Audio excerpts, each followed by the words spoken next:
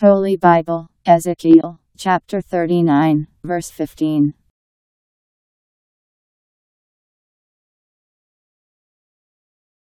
And while they go through the land, if anyone sees a man's bone, he is to put up a sign by the place till those who are doing the work have put it in the earth in the valley of Hamon Gog.